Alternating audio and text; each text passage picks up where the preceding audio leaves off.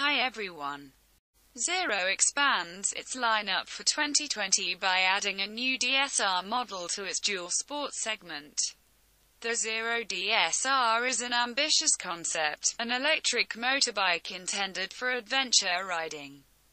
Upgrade to Zero's fiercest power plant, the Zero DSR produces 116 ft-pound of torque and runs at higher sustained top speeds using an enhanced motor and higher amperage motor controller. The 2020 DSR will be available in new colors and graphic styling in black and gold along with an exclusive 14.4 kWh power pack. An aluminum twin-spar frame provides the main structure on the DSR with a yoke-style swing arm to complete the skeleton.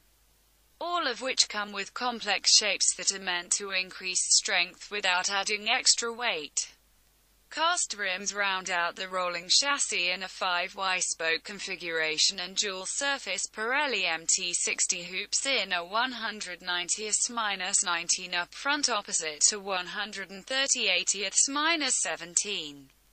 The tread has deep grooves for improved traction on soft surfaces but with sufficient street flats to make it comfortable on the tarmac.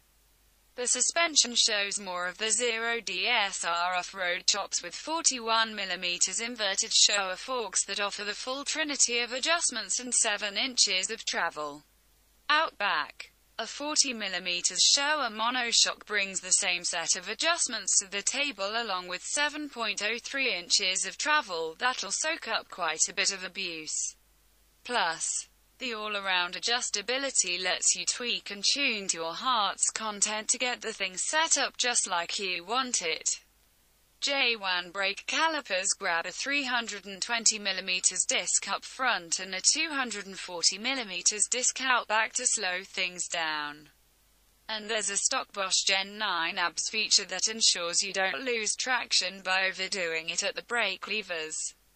The DSR platform maintains its agility through a 26.5 degree rake angle and 4.6 inch trail over a 56.2 inch wheelbase. And that should be just far enough from the bottom of the range to keep the Zero DSR from being too twitchy.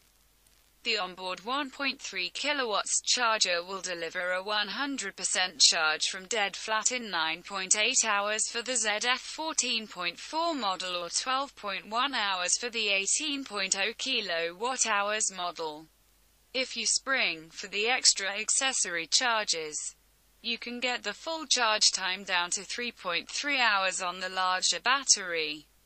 Zero's latest Cypher operating system made its debut on the Zero SR/F Electric and included an updated phone app that allowed for smoother customization and connectivity options for the bike. For 2020, Zero has trickled that tech down to all of its 2020 models which will feature the updated app to bring an upgraded level of connectivity to all its bikes. Thanks for watching.